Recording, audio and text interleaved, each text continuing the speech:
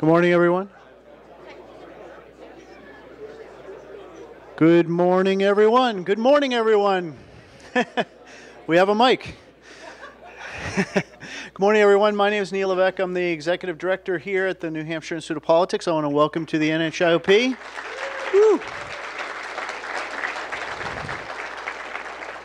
I know it's a quiet season, and many of you haven't been here recently, so well, well, that's that's the end of my jokes. If you're not gonna laugh, so uh, this is a place of civility, and this is where we hear the argument. And I think today we're going to hear a great argument. So it's good for our democracy, and the argument is good. But I ask everyone just be to remain uh, civil. And this is about the two people that are up here, actually three people. I'll introduce James Pindell to come up to the stage. He's our moderator today, nationally known journalist. James, everyone knows James. Welcome, James. Okay, you're hot.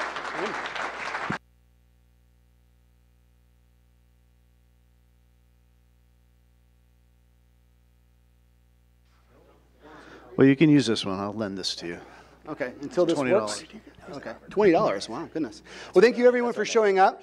Um, this is going to be a unique moment, and I'm glad we're all participating in it. But I do want to go ahead and just get started. So I want to introduce uh, Republican presidential candidate Vivek Ramaswamy and Congressman Ro Khanna from California. Vivek, you're here. Nice seeing you. Thanks. How are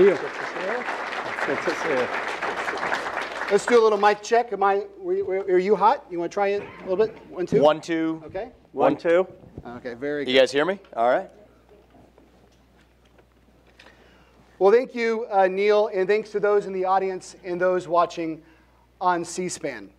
We're here because these two gentlemen wanted to face off and have a lofty and possibly intense uh, discussion about America, its role in the world, and the future. And I see my role as a facilitator merely to, to, to help them have the debate they want to have. I hope we also step back for a second and just appreciate what we're about to witness because it's so rare in modern American politics these days. This debate will have zero commercial breaks. There aren't nine other people on the stage. We aren't asking the participants to solve Middle East peace, give their guardrails for AI, or solve Social Security in 45 seconds or less. And if I may, uh, uh, we're also going to have the chance to be serious for once and actually flesh out some issues. To honor their commitment to do something different and better, I'm going to make my own similar commitment as a moderator today. Uh, there will be no process questions, no political horse race questions, no hypothetical questions, no gotcha questions, and gasp if you will, I will not make a single question or reference to Donald Trump. now, you may, that's fine, but I won't. I want to quickly go over how this hour will proceed. These gentlemen have identified five topics they want to discuss. They are the following the economy, foreign affairs, political reform, climate change, and the future of America. We're going to spend roughly 10 minutes on each one of those topics with specific questions for me. At the beginning of each segment, I'm going to ask one question to one person, and they're going to give roughly about a minute answer because I want to get into the back and the forth. Then the same person, the other person gets the same question. And after that, if there's an issue, take an issue with what uh, Mr. Khanna said or back and back and forth, please get at it. It's the dialogue that we want. This is the rare platform where we actually get to do that. I will also ask an opening and closing question. During this procedure, the next hour, you may see us looking down at a timekeeper. Caroline's got us on board. She's going to try to keep us on track so we can actually get into as many issues as possible. Uh, so with that, you heard we're going to try to keep applause to a minimum during this debate.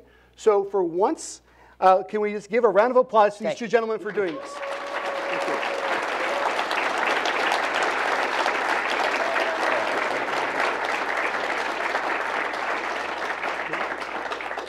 Very good. Hope we got that out of our system.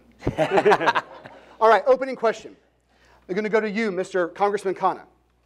What is, and you guys wanted to go big, so I'm going to go as big as possible to start this off. Sure. What is the most important thing going on right now, either in America or the world, and why? Well, first, James, let me just say why we're here. We're going back and forth on Twitter, uh, exchange some barbs on identity, race, foreign policy. And I thought instead of just trying to score rhetorical points online, why not have a civil, substantive discussion about the future of America with someone you disagree with? And James, I appreciate uh, you're doing this as one of the best political journalists. Uh, it's great to be here at St. Anselm, a model for town hall democracy. Vivek, I just got to be honest about one thing. I want to stop getting confused at airports for you, and I'm, I'm hoping this is going to clear that up. one thing But will come out of this. one thing, that's and I, it. I want to also just say how much I appreciate being here. This it shows that the online offline world here. Ro asked me on Twitter, "Would you do it?" Now is it a different place. I said, "I'm spending time in New Hampshire." And I would give credit for him to come here and do this here in New Hampshire, where we're spending our time as well. So, Well, I appreciate that. And I look in seriousness. Here's my hope. I mean, you know, someone said, "Do you want to win this debate? What do you want out of it?" Uh, Fireside conversation. I said, "Why can't we do this in living rooms across America, where you can have a civil conversation with someone you disagree with, where you can see where they're coming from, where you can see if there's common ground?" In my view, that's the only hope for a polarized nation that's deeply divided to find a way forward. You said, what is the biggest issue facing America? It's our deep polarization. It's our inability to listen to each other. It's our inability to find common ground or move forward. I hope this type of conversation is a model for going forward. Yeah, what is the most, the biggest thing going on right now, either in America or the world? It doesn't have to be bad, it could be a good thing, but what is it? I'll, I'll give you uh, but one answer to each. At home, it is our loss of national identity. I think that if you ask people in our generation or younger, what does it mean to be an American? You get a blank stare in response. That is a vacuum of identity. And when you have a black hole that runs that deep, that is when the poison fills the void. And the positive version of that is this is our opportunity. The biggest thing we could do is deliver an answer to the question of what it means to be an American. Revive the ideals of the American Revolution. I think we live in a 1776 moment. That's the big answer domestically. What an exciting time that would have been to be alive in the spring of 1776. I think that's the opportunity we have here right at home now. Now, abroad, I would be remiss if I didn't state what I think is the biggest single risk that we face that I don't think leaders in either political party are talking about and should be. I worry that we are on our way to potentially World War III. I am deeply concerned that we are slowly marching our way into a serious conflict that we have become complacent about in this country to believe that that can't happen. It's slowly happening before our own eyes. And I think we need a commander in chief who is expressly committed to keeping us out of World War III to avoid making some of the mistakes we made in the post 9 11 era with Iraq and Afghanistan. I worry that though we're having a, you could call it a bipartisan discussion here, I worry that some of the worst ideas in Washington, D.C. are bipartisan. And I think that many of our bipartisan ideas, Republicans and Democrats alike, share responsibility for bringing us to the brink of major conflict. And it's probably my top reason for being in this Republican primary. And I hope it's my top reason for success in leading this country that I will keep us out of that World War III. But I do look forward to that discussion today as well. Well, that's the opening question. We're definitely going to be hitting on foreign affairs in the next segment. The first segment is on the economy. This question is for you, uh, Vivek. Um, when we talk about, and remember, the initial answer is going to be about one minute so we can get to some back and forth. When we talk about different ways of measuring the economy, again, broadly, we'll get into this topic. There are a million different ways you can, million different metrics you can use. The unemployment rate, where the Dow stands, uh, average income, inequality gaps, interest rates, inflation rates, GDP. What is the single most important metric you use to, the, to figure out how the economy is going? Well, I don't know that I would reduce it to one, but I'll make it very simple. Here's what's wrong with the economy. You get a lot of statistics from the White House that would teach you that, or try to teach you, that, oh, we're doing great in terms of the economy and Bidenomics has been a success. Here's why people don't actually experience that in their life prices are going up, interest rates, that includes mortgage rates to buy a new home or otherwise, mortgage rates are going up, and wages have remained flat. So that's, what, that's where the struggle actually comes from. What do you do to address it? I think it's not that complicated. Increase the supply of everything that's worth producing in the United States. Increase the supply of energy. Drill, frack, burn coal, embrace nuclear energy. That brings energy costs down, it drives economic growth. Bring housing costs down by increasing the supply of housing, land use regulations that we need to get rid of so people can build no, more new homes, grows the economy, brings the price of housing down. Same thing with respect to food. Go down that list. And the net result is going to be economic growth, but the basic obstacle is the administrative state. Those regulations coming from on high have constrained the production of energy, the building of new housing, the production of food. That's driving prices up. It's constraining economic growth. So we know how to do this. We're going to talk about where some of those obstacles actually come from, the climate agenda or elsewhere. But the clear problem is high prices, high interest rates, stagnant wages. Turn that upside down, get the regulatory state out of the way, take the wet blanket off that economy, stop paying people more money to stay at home instead of to go to work. And then the ultimate depressing factor here against the structural issue we face is the $33 trillion national debt, where the interest rates on that national debt are going to become the single largest line item in the federal budget in just a few years. And in this case, I think we need to bring zero based budgeting. I don't know where you are on this, but zero based budgeting to Washington, D.C. Start with not last year's budget, start with zero as the baseline, and then ask what's actually necessary. CEOs like me, that's the way we run our businesses. The federal government or the states have not been run this way in our national history. That gets us out of our economic malaise, and people tend to be more proud of a country when we're making more money in that country. What's the biggest metric for you? James, it's pretty simple. Is the working class and middle class doing better? They've been shafted for the last 40 years. But first, let's talk about the success of this president. I mean, it's objective success. You've had 13 million jobs created, which is the largest ever in any administration. Now, people say, oh, it's a recovery. 70% of those jobs were recovered. I'm glad they were recovered. Yes, 70% of those jobs were recovered, and they were recovered within two and a half years, and that was because of the American Rescue Plan. But let me just, because we're having this substantive dis disagreement, identify areas where Vivek and I completely disagree uh, with what I call economic patriotism. The role of the government to rebuild industry, to, which has been hollowed out, hollowed out in places like Colebrook uh, in North Country, hollowed out in Berlin, hollowed out in Manchester. We lost textile mills, we lost factories, we lost steel. Why did that happen? It's because other governments were willing to fight for those jobs with government investment. They were willing to say, we are going to put money in with the private sector and labor to build industry. That's how we built America with Hamilton, with Lincoln, with FDR. That's what we're doing with the CHIPS Act to bring semiconductors. I know you're passionate about semiconductors. That's how we're getting semiconductors back into Ohio. Now, for the Republicans, and I, I, I, some of this you've adopted, they see any problem and they say, let's cut taxes. Let's deregulate. How is that putting a steel plant up in uh, Johnstown, Pennsylvania? By cutting taxes and deregulation. It hasn't happened for 40 years. You talk about the deficit. The what? deficit was caused by three things Three things. It was caused by Reagan's tax cuts, Bush's tax cuts, and Trump's tax cuts, and Bush's overseas wars. That's $15 trillion of that deficit.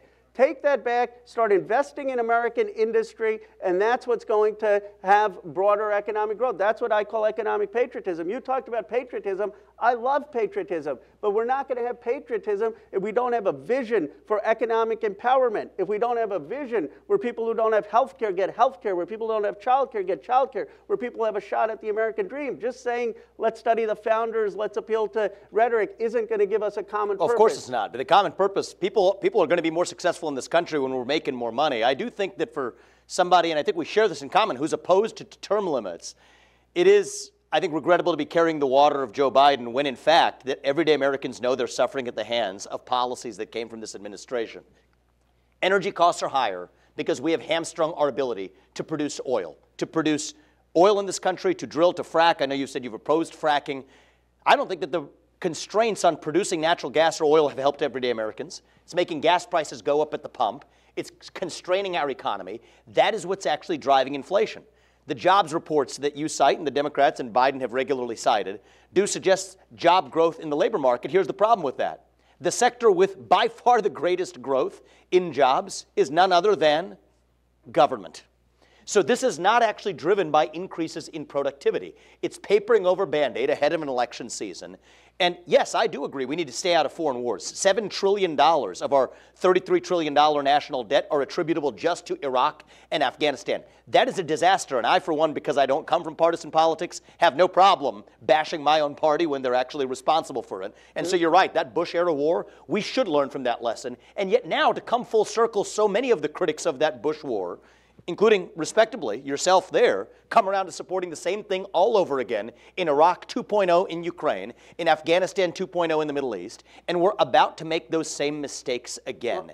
And so, what it takes is, I think, leaders who think outside of the traditional partisan boxes to say, here's our national debt problem, address it. Here's our economic malaise, address it without those partisan filters. And I think that's going to take a CEO to actually accomplish. As you can tell, my job is to stay out of this um, and to let you guys talk. This is what you wanted. We are running overtime for the, for the first 10 minutes. I do want to do one more question, though, because uh, you obviously both really disagree on this idea, and I want to get into it. One of your proposals on the campaign, I want to ask you about this, Ro, is uh, Congressman Khanna, uh, Ro's fine. Vivek is fine as well. uh, is to uh, cut the federal bureaucracy by 75% staffing Yes. levels. Why is that a horrible idea? Well, it's a horrible idea because you need the federal government's investments to be able to scale factories. You need it to be able to build. That's how we're building uh, the semiconductor industry. That's how we're building new industries. Now, Vivek said a couple points. First of all, that you want to reverse the tax, uh, the, the deficit, reverse the tax cuts, reverse the Bush tax cuts, reverse the Trump tax cuts, reverse the Reagan tax cuts. The second point is on economic growth. The economic growth that we're going to get is by investing in our people and investing in our working class. It's not by cutting the Department of Education. You cut the Department of Education here and look at the impact on public schools in New Hampshire, which already don't rely so deeply on funding for the Department of Education. You cut the Department of Education, and what are you going to say, tell the kids who get some funding for public college or apprenticeships that already cost too much? And here's I'll what tell- I- I'll tell you what you tell them, 'cause just I think this is-. Let me- this is- and then I'll give you your time. yeah. I, let me just finish this point on, which I've never understood, because I, you're, you're a thoughtful guy, obviously, you know, f- uh, great education. I've never understood the obsession on fossil fuels, and here's my point. It would be like someone saying, I love the wristwatch, don't give me a, a, a, smartwatch. I love the flip phone, don't give me a smartphone. Let's talk about fossil fuels in New Hampshire. New Hampshire pays $70 more on its electricity bill than any other New England state. Do you know why? The reason they pay 70, you guys pay $70 more is because you get more of your energy from natural gas. And you don't sit on natural gas. You got to ship it all the way. If you had solar and wind, it actually would be cheaper. It would be saving New Hampshire ratepayers money. So my point is, why not evaluate a technology on its impact? If something is faster and cleaner, use it. No one's saying don't use any fossil fuels. I mean, I drove here. I used fossil fuels. I took So a we, we here. can go to the fossil fuels. I just want to make sure before we go We to two later. Topics. yeah, I want to get to I want to get to the administrative state point though, because this is fundamental. The Department of Education, you have a point to decide. Eighty billion dollars of our taxpayer money is going to a federal agency when education is locally administered. So my view is what we need to go in there and do is shut that down and return the $80 billion back to parents and states across this country. So every child and every parent is able to choose where they go to school. Now, I favor school choice on steroids. Here's the dirty little secret in American education. You want to talk about economic empowerment? How about this one? If you're switching from a poorer performing school to a better performing school, 90% of the time that is to a school that spends less money per student. In New York, $40,000 per student per year in a bad public school, 20,000 or less to a better charter school or public school. I think every kid and every parent should be able to take half the difference with them. Put that in the account of the kid. That kid graduates from high school with a $250,000 graduation gift. It's not even close, which is a better head start on the American dream rather than feeding the teachers union bureaucracy or feeding the federal employees in Washington, D.C.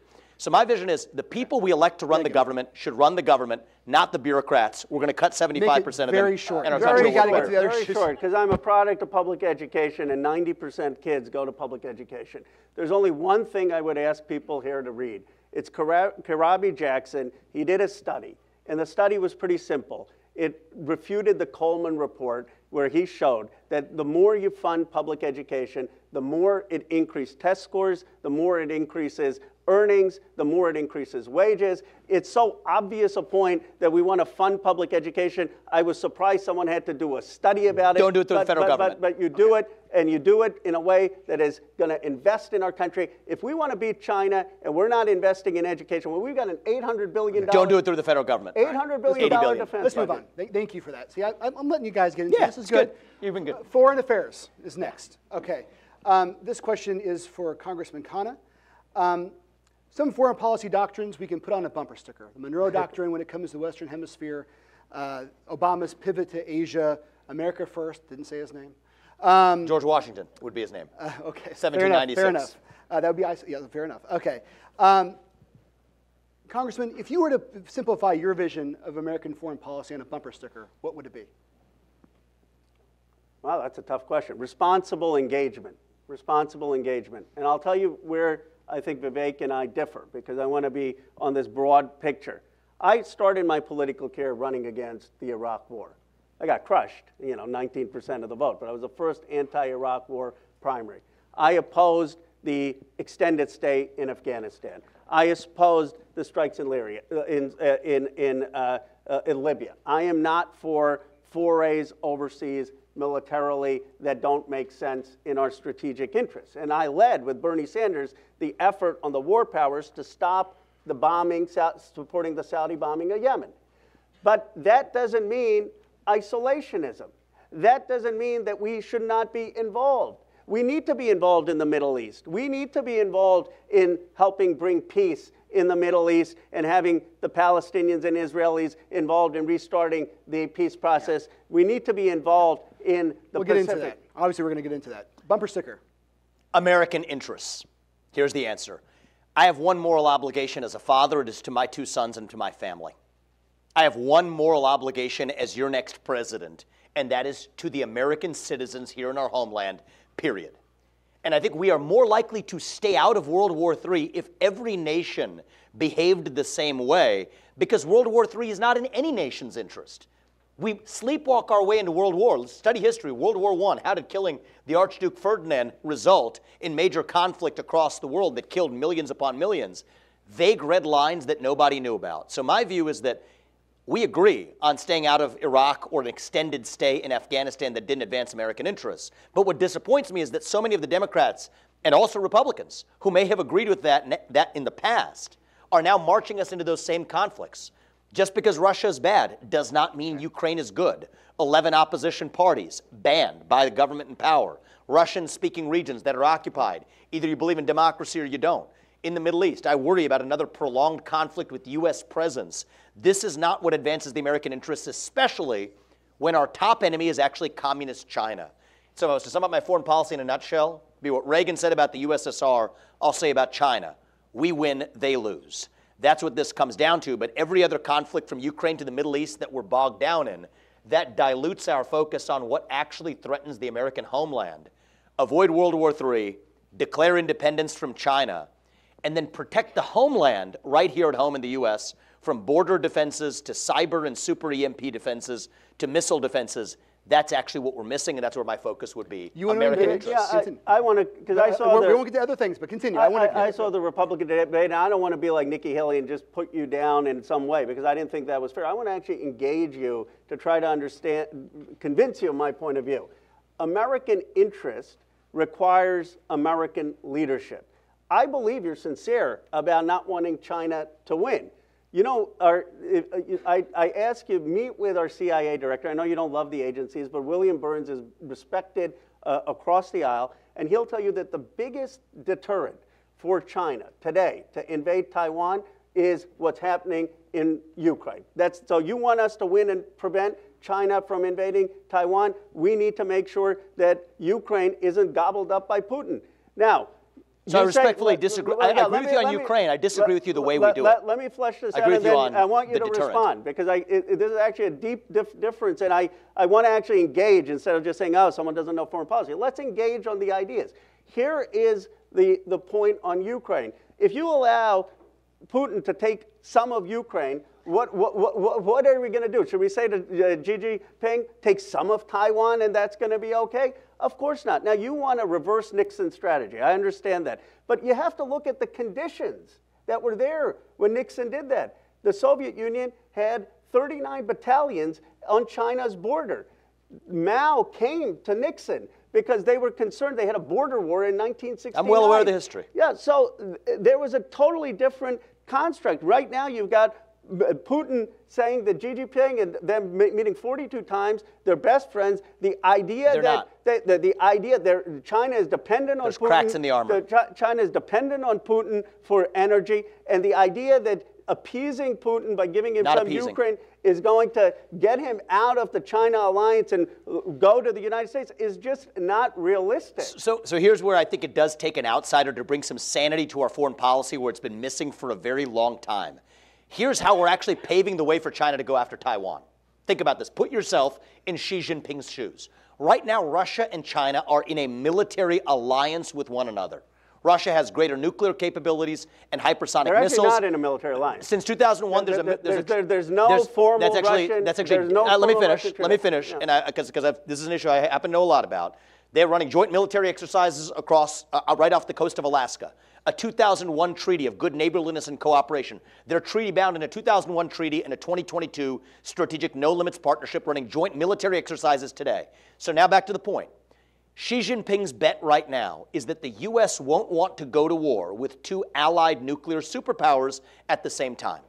But if we get Russia out of its alliance with China, we have eliminated the single greatest threat to the U.S., that's the Russia China alliance, and Xi Jinping will have to think twice before he goes after Taiwan. So, my view is that we can use the end of the Ukraine war as a chance to do what we should have done long ago pull Russia apart from China, say that NATO will never admit Ukraine to NATO. That is a commitment that we made back in 1990. James Baker made that to Gorbachev that NATO would not expand one inch past East Germany. We haven't kept that commitment. Keep and honor that commitment, but require in return that Russia and China split up. There are kinks in their armor, and I can talk about what they are. Russia sending weapons to India, to Vietnam, not allowing China to finish a railroad.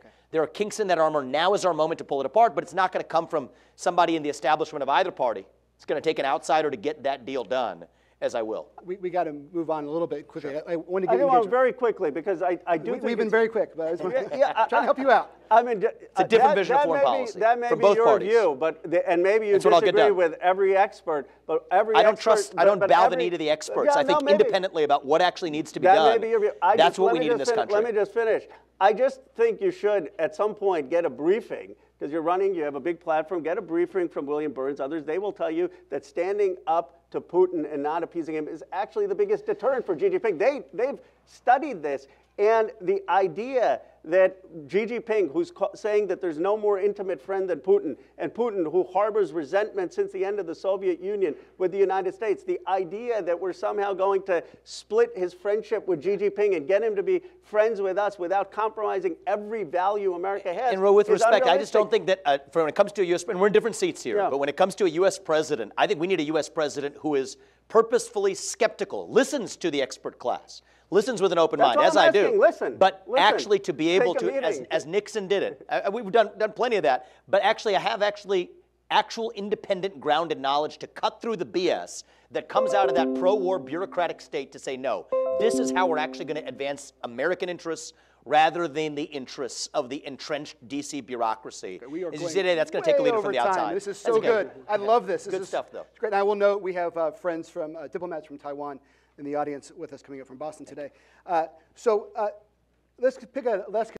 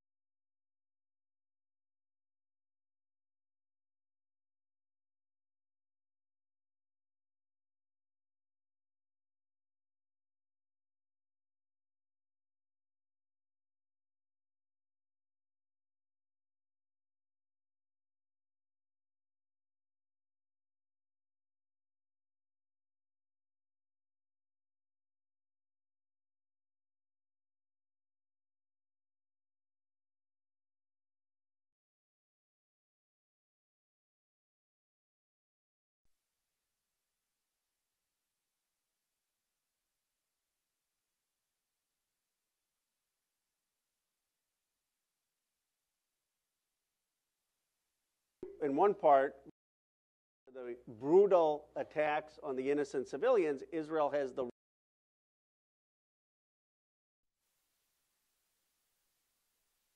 that you were misquoted. Maybe, hopefully, you'll retract. Saying you want the Hamas leaders uh, on stakes and at the Gaza border. And I guess this is If where Israel, if Israel wants to do that, they should be able to do it yeah, for the leaders. this is where I think we, we have a difference just in terms of leadership. You know, that you, you said, oh, I'm carrying the water for Biden. I guess I view the world in more nuance. I was Bernie Sanders co-chairs, but I could say what Biden did well, creating jobs, and what he d- should do better. And we need that nuance on foreign policy. There was a reason when Barack Obama did the single best thing in getting Osama bin Laden. He didn't parade it. He deposed of the remains in the sea because he didn't want to incite more violence against America or the world. And if we were to put Hamas leaders on stakes, We're we not would, doing it, we though. would all, if Israel were to do it, we should tell them absolutely not. Not just because it violates See, the. Geneva Convention, because already Christopher Wray is saying there are heightened threats to Jewish Americans, Muslim Americans here. Why do we want to inflame the threats? And you have a very important platform, Vivek. I mean, look, you're in the top five presidential candidates. I think you should take that back or at least call for some kind of reason. One point, though, on Israel and where we do disagree on the involvement. I agree with you. We should not be in a ground war. We should not get involved in the war. We need American leadership. We need the leadership that your party, actually, James Baker, started with the Oslo Accords. If America is involved and we can move to a two state solution, Bill Clinton almost completed it at Camp David. Our big mistake is that we ignored the Palestinian issue. We tried to do the Abraham Accords around the Palestinians. That is not a plausible solution for a just peace. I don't want China leading in the Middle East. I don't want Russia leading in the Middle East. I want our aid to Israel, our aid to Egypt, so that America leads. And I'll tell you something I don't know if it'll be Joe Biden, but an American president is the best shot with American leadership for peace in the Middle East. See, my goal isn't to lead in the Middle East. My goal is to lead here at home. And I do not think that further deep engagement in the Middle East advances our interests. So Israel is an ally. What does that actually mean? You let an ally defend themselves as they deem fit. So my point was I laid out an array of options that I wouldn't get in Israel's way if they wanted to pursue. But when it comes to the United States of America, our objectives are how do we protect our homeland here? The thing I'm worried about is if that can happen in Israel, and that was a security breach of a large scale we have not seen in 50 years. It, it was something that Israel missed. If Israel can miss that, that can happen right here at home in the United States of America. So I could care less about leading in the Middle East. I care more about protecting Americans right here at home. And the last point I want to make is on engagement in the Middle East. We actually screwed up. We screwed this one up. And here's something that maybe you'll agree with me on this, but neither party's talking about, and both parties need to own up to. Un, almost undoubtedly, one of the catalysts, and you won't hear this from the media, ask yourself why, but they won't tell you I'm wrong about it either. One of the catalysts for what happened was the U.S., led by Biden, but Republican senators along with him, leading discussions about nuclear technology transfer to Saudi Arabia, badly upsetting what is an uncomfortable but at least existent balance of power in the Middle East. The fact that that happened this summer, and then October 7th, you have an attack you haven't seen in 50 years on Israel when it's in the middle of those discussions with Saudi Arabia. We have to confront the reality that every time we stick our nose into the Middle East, it's like somebody waddling into a glass shop. We think we're helping. It's a bull in a china shop. We make things worse and we leave a mess behind. That's Iraq, that's Afghanistan, and that will not happen again on my watch. And so, this responsible engagement, I believe it, you, it comes from a good place. I really do believe that. And I think it is earnest. But that's become the consensus of both parties in Washington, D.C., that I think it's going to take an outsider coming in and calling out the truth for what it is.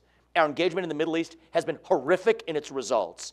And the definition of insanity is doing the same thing again and expecting a different result. Let's get out, let our true ally defend itself, and then move on to what actually protects the American interest. Greg, first of all, Let's there- wrap up with this. Yeah, there, and I, I imagine you may have misspoken, but you would agree. There is no excuse. There is no justification. There is no policy Of course failure there's no to explain Hamas's brutal terrorist attack on Israeli civilians. That's why I said we should hold them accountable. That has Up to heads nothing to do with Joe Biden's policy. It has nothing to That's- do with that's- Republican that's not policy. entirely true. That, that, is, that is to do with Hamas's terrorism that needs to be condemned Uh, are you in favor of this the Saudi second- nuclear the- transfer? the- and you think the- that's the- entirely unrelated to this? Just for on the record, you I'm think not- that has no, nothing to do with this? I'm not in favor of the Saudi nuclear transfer, but I don't think that that justifies or excuses. doesn't justify it. or Of course it excuses doesn't justify it. I'm not sure it's a transfer. Let me- Nobody's it's talking about justifying it. Let me just. ex- Let But me do you think these are relevant Let- issues to discuss? Let, me, The Saudi nuclear yes, transfer, but not the in fact that it happened this summer, not in the context something we have to be able to talk about. Not in the context of Hamas. But let me point this out. And this is where I believe you love this country. I do. I believe we- you. I think we all do. I, I believe here. you've, I you've we do. achieved in some way the American dream. But why do you have such an impoverished vision of America that the only thing America is going to do is a provincial sense of its own interests. I don't even think it's our, in our own interests if we disengage. But don't you think America has an obligation to care about human rights? Shouldn't, when we're seeing the bombings of people in Gaza dying and don't have food and water, shouldn't that be an American obligation? Your Republican speaker is putting a bill with not a single dollar to people in Gaza. You know what makes America great? It's that we believe in the dignity and human rights of people around the world. It's that we're different. It's Well, that the thing we- that makes America we great is that we are It's that example that here at care. home. It's that, yes, we're that example, but you're taking foreign policy blunders, and I agree with you, Vivek, on those blunders. But the answer to those blunders is not to retreat into an isolationism. The answer is not to forget what we did in World War II in liberating the world. The answer is not to forget what we did in the Cold War in standing up for freedom. It's to say, let's learn from the mistakes of not overextending. See, I'm, I'm a George Washington, responsible America leadership. First conservative, all right? The George Washington vision, his 1796 farewell speech, is the way we set an example for the world is to be that example right here at home. What hope does the free world have if America itself is weak at home as we are today? A border crisis of historic proportion. You have an illegal immigration crisis that threatens this crisis, this country right here at home. An economy that is struggling that people haven't seen since the Jimmy Carter era. A dependence on China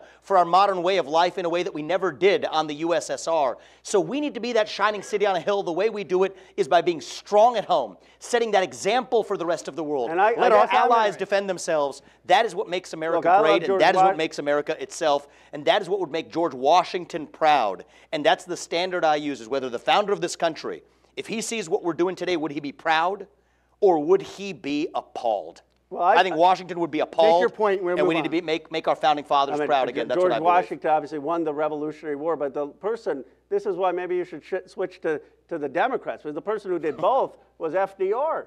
You know, he, he could walk and chew gum at the same time. That, that was a Democrat, by the way, who led the free world and got us out of the Depression because he didn't believe in gutting the state. He believed in actually having the state work with the private sector to industrialize America, and he believed American values could be held up, up abroad, and he fought for human rights. He was the most successful president of the 20th century, and that to me is the model. Okay. So we saw your differences very clearly on the economy and on foreign policy. We're running over time. One area where you, I think, do agree on is political reform. Yes. Congressman Khanna, you have a new bill out, uh, I guess last month, uh, with five cer- certain points.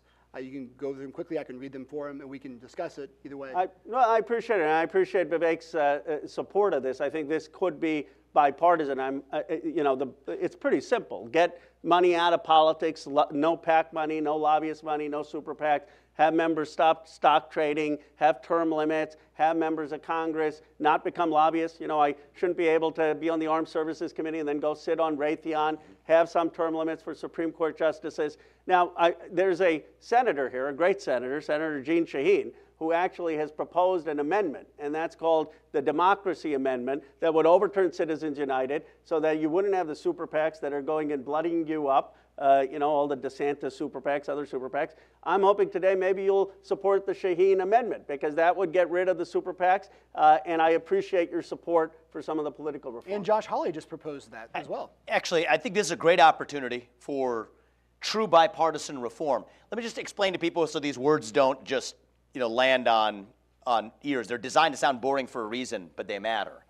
So the basic way it works in a presidential race is 3,300 bucks per person in a primary. That's not enough to corrupt a presidential candidate, but 33 million dollars is. And most of the money being spent in this primary right now, in the Republican primary, is being spent by super PACs, billionaires that the other candidates are licking the boots of every day. Every politician, I think you've seen this enough, and I'm sure you'll agree with me. Basically, every politician dances to the tune of their biggest donor. Now, in my case, that biggest donor is me, and that's why I'm able to say this. we should end the super PACs. Apply the same rules that if you're going to advocate for specific candidates, then you're subject to the same $3,300 limit. If you just want to advocate for general issues in American life, we have free speech in this country. You're unlimited in what you can give. That shouldn't be controversial. It's easily fixable. No lobbying for at least 10 years until after you've left. I wish every politician who leaves office the same American dream that I've been able to live. Just do it by actually building your own business rather than using your own government connections as they do today. So the only thing I would say is on term limits. This is one that we can actually get done and that nobody talks about, and I would encourage you to at least elevate, even within the Democratic Party and in Washington, D.C., a discussion about term limits for the bureaucracy. So this is something I can get done as your next president, because as admirable as what Ro and Matt Gaetz and others, Josh Hawley, are proposing in terms of political reform, it isn't going to happen because it requires the very people in Congress who benefit from that corruption to actually pass it. That's what's not going to happen. But here's what I can get done as a president. As the next president, we can implement eight year term limits as a norm for most positions in the federal bureaucracy, and it makes sense. If I can't work for you for more than eight years as your next president, which I believe is a good thing, then neither should most of those federal bureaucrats reporting into me either. That's really the true cancer is that the people who we elect to run the government, they're not even the ones really running the government or exercising political power. That keeps the lifeblood in Washington, D.C. fresh. I do think it's going to take a CEO in the White House to actually be able to implement that. But that's, again, something that should go beyond political partisanship and something that would make our founding fathers proud because the administrative state wasn't written into the Constitution. There are three branches of government, not four, and that's the kind of political reform that I do think we can get done with the successful election of the right president in 2024. I want to move on to the next you- topic. Very briefly, you had to add that code. I was hoping I could just agree with you, but you had to, Well, that'd be too had- boring. You had to add that, th- that thing in.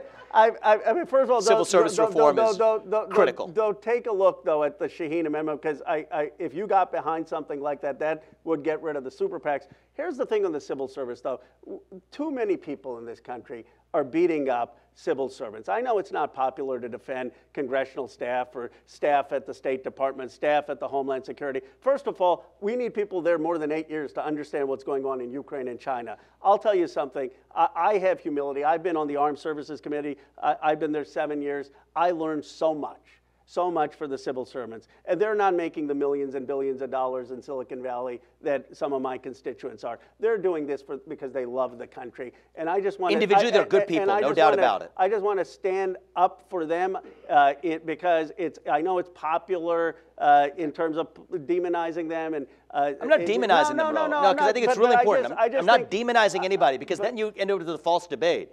The question is can a bureaucracy comprised of good people still be wasteful at a scale that leaves Americans holding the bag? And I do not think it's the job of our federal government to provide employment opportunity for millions. You know, they should actually fill the open jobs in the private sector. Reduce the size of that federal bureaucracy by 75%, and I think everybody's going to be better off. And that's not a slight against one, anybody. One line, Vivek, because you, It's you- about you reviving our government. You spent in Silicon Valley. It was one of my favorite leaders in Silicon Valley said, "Good leaders take people, recruit great people. Great leaders take people and make them great." What we need is presidents who will inspire the, The federal- citizens, not the federal, bureaucrats. federal uh, workforce, and I think they can. We, when we've had great presidents like John F. Kennedy and FDR and Barack Obama, they've seen that talent and they've inspired them, and, I, and they are capable of great things for this Next country. topic you guys wanted to get into was climate. Uh, I'm going to start with you, Mr. Ramaswamy. Uh, there was a recent poll from Yale and George Mason, by the way, that found that Republican views on climate are shifting, and now one out of three Republicans think that climate change should be declared a national emergency. Are they right or wrong? I'm not one of those three Republicans. Yeah. I I disagree. One out that. of three, but yes. So, so I, I believe facts matter here. Okay, are global surface temperatures going up? Yes, they are. Is that likely owed to some man-made causes? Likely. However, this is not an existential risk for humanity, and to the contrary, eight times as many people are going to die this year of cold temperatures rather than warm ones. In the 1970s, the warning of climate change was an ice age. Look at the cover of Newsweek. Today, they warn the other direction. You want to think about the climate disaster related death rate, the number of people who dies from tornadoes, heat waves, and so on, down by 98% over the last century. Why? Owing to fossil fuels. The Earth is more covered by green surface area coverage today than it was a half century or a century ago. Why? Because carbon dioxide is plant food. So, what we have to do is confront the facts and ask ourselves are the climate change policies hurting us more than climate change itself? And I think they are. And so, my view is that yes, we should ask what advances human prosperity, human flourishing. Don't ask what minimizes our impact on the climate. Ask what impacts human prosperity, even in the face of a lot of changing circumstances, including the climate itself. And that means using more of all American made energy, including fossil fuels such as oil and natural gas. And I will not apologize for that. Are we facing a national emergency? We are. Human flourishing requires a livable planet. That's the, the premise of, uh, uh, of human flourishing. We need a planet. I, originally, when we were going to have this conversation, I was going to come in with all these scientific facts. And then one of the young folks on my team said, Ro, you don't have to convince people in New Hampshire that climate change is real or that it's an existential threat. You all know. You saw the floods in New Hampshire and Vermont. This is not anecdotal, by the way. I've heard you say anecdotal data. The, the, American Scientific has shown through computer modeling that this is extreme weather events are the cause of uh, increasing temperatures. You know what it'll do to New Hampshire. You know what it'll do to tourism here. You think New Hampshire skiing is going to be around? You know what it'll do to dairy farming and productivity. You know what it'll do to your electricity bills. People in, uh, saw what it did in Maui.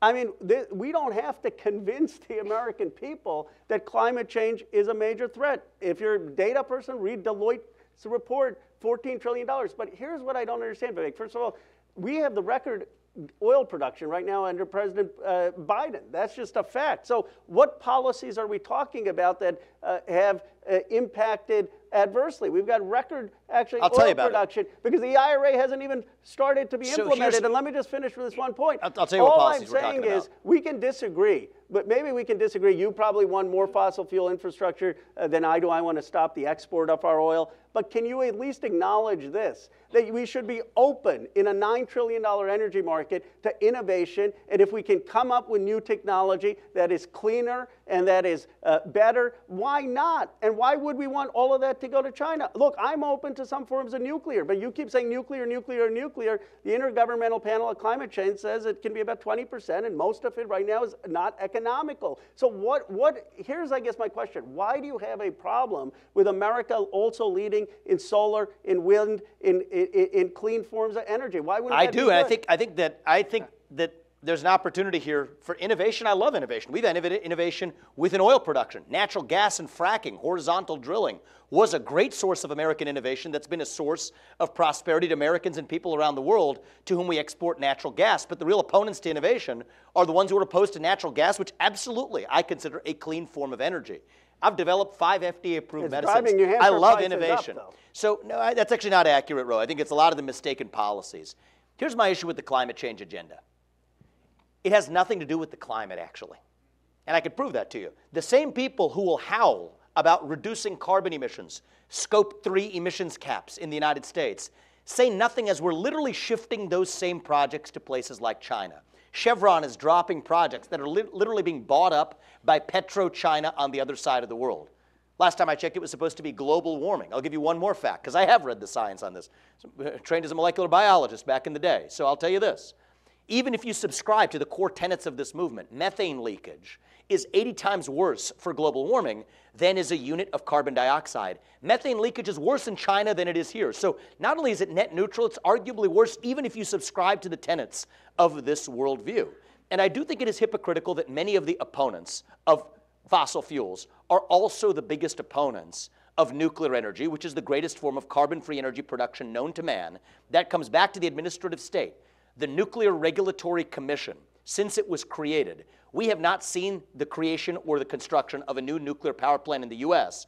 The only country in the world that has a Gen 4 nuclear reactor is actually China. So this is hypocrisy all the way down.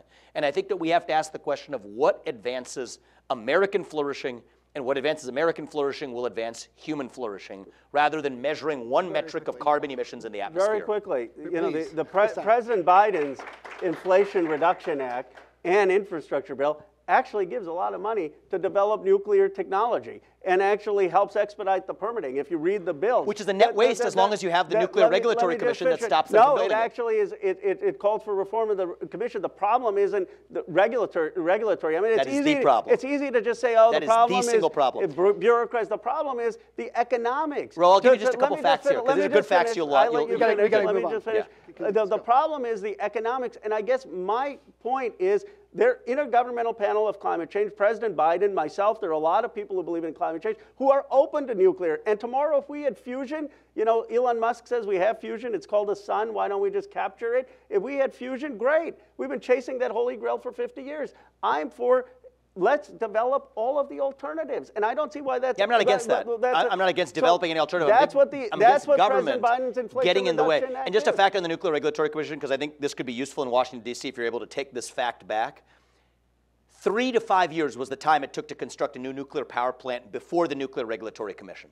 That's how long it takes in places like Japan and France today. After that body was created, it's 25 to 40 years. That is to say, impossible in the United States of America. That's not because you all elected congressmen who voted for that policy. It's because somebody who was never elected decided that we don't want nuclear energy in the United States. And so a lot of this agenda has nothing to do with the climate.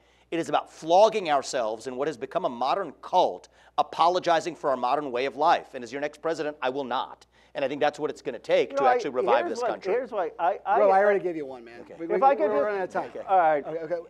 I want to get to the future of America. Okay, um, this is the last topic we wanted, to, you guys wanted to address. Um, what do you fantasize America looking like in 2050? And By 2050, Texas will be the largest populated state in the country. Will be a majority minority uh, country, a multi-ethnic. Um, clearly, obviously, I want to note that we have two Indian Americans uh, on the stage. American Indians, probably a better way of putting it. Um, and the same with Kamala Harris and obviously Nikki Haley in the race at, at the tops of national politics. Asians are the fastest growing segment of the population in the United States. What we're obviously deeply polarized. What does the future of America look like? I believe the question goes to you. If you if you had your way, I'm very hopeful about the future of America. I'm hopeful when I see the young people. I'm hopeful when I think of my own life story. You know, when I was growing up in Bucks County, Pennsylvania, uh, my parents could not have met a staff member to a member of Congress. Today, there are five South Asians in the United States Congress. This is a country of progress. But you know what I think we need over the next 10, 20 years? We need an American production renaissance. If we revitalize our economy in this country, if we bring back the new steel that's also going to have lower carbon footprint, if we bring back the modern aluminum production, if we bring new technology jobs to historically black colleges, Hispanic institutes, if we bring economic opportunity to every community so they can build wealth and people can live in places they love, that can make us a preeminent economic leader in which everyone has a stake. And I want for every American the chance this country gave Vivek and I. That's it. You know, I came, uh, my parents weren't uh, poor, they were, they were middle class. My dad was an engineer, my mom was a substitute school teacher. But I could go to a dentist, I could get health care, I could go to a good public school. I had to take out too many loans. I got lucky. I went to Silicon Valley and, you know, did, did well, have a, a good wife whose father did well. But we, I had the basics. Why can't we do that in this country? Why can't we have child care at $10 a day, Medicare for all, free public college? And you, they say, how are you going to pay for it? Reverse Reagan, Trump, Bush tax cuts. Put that money in giving working and middle class families a shot at the American dream. That's how we bring this country together. So I, I think that I'm glad to hear that we also may share at least a longer run, bright future for America, even if we disagree about the paths that get us there. We're taught to believe in both parties right now that we're this nation in decline, right? That we're at the end of the ancient Roman Empire and all we have left is to fight over the scraps of a shrinking pie. I don't think we have to be ancient Rome. The way I see it is as a nation, and I say this as a young person, as a nation, I think we're really just a little young right now. Actually, going through our version of adolescence. We're going through hard times. I'm not going to come here and tell you it's morning in America. It's not. But it can be again. I think we can still be a nation in our ascent. And the way we're going to get there is by reviving this thing we call merit in the United States of America. What is merit? Each of us has God given gifts. They're not the same. Each of us on this stage, in the audience, each of us has different God given gifts. But America's the country on earth that allows you to achieve the maximum of your God given potential without anybody standing in your way. So, what's my dream for 2050? That we'll tell our kids and our grandkids that the United States of America is still the nation where no matter who you are, or where your parents came from, or what your skin color is, or how long your last name is in some of our cases, that you still get ahead in this country with your own hard work, your own commitment, your own dedication, and that you are free to speak your mind at every step of the way. And yes, that is the American dream. And it is not alive and well, it's alive and on life support right now, but it will be alive and well in 2050 again. I think it can be a lot sooner than that if we all step up and do our part. And so I want to thank you for, for also engaging in that discussion. I really enjoyed Thank it. you. And, and We thank you want one more quote? Thank you. We have one more question, and Yeah. make, we'll make it short. Uh, this has been awesome. This has been really great. I think the audience agrees. It's been awesome. Um, Thank you. Thank you. Thank you. one last few seconds closing statement. What do you want to uh, polarized America to take away from this past hour? So it's interesting. I think we have celebrated our diversity and our differences for so long that we actually forgot all of the ways that we're really the same as Americans, bound by a common set of ideals, right? We, we both have the same shade of melanin up here on this stage. So what is actually my answer to that question, unless our diversity can be a beautiful thing, but it only matters if there's something greater that unites us across that diversity. Without that, we're just a bunch of two legged higher mammals walking some geographic space that we call a country, doing what our iPhones told us to do on a given day. That's not America. America is a vision of what that place can be. E pluribus unum means from many, one. And I believe those ideals still exist. Even though I disagree with my friend here on a lot of things, I believe that in his heart, and the people who he represents, and the people who voted for him even, share those basic ideals in common. We might disagree on corporate tax rates or whatever, those are details. But we agree on the basic rules of the road meritocracy, free speech, the pursuit of excellence, self governance over aristocracy. I think most of us in this country do. I'm calling the bluff on the artificial myth of national division. It, those of you in the audience are not nearly as divided as the media in the back of this room would teach you to believe that you are. We still share the ideals of the American Revolution in common.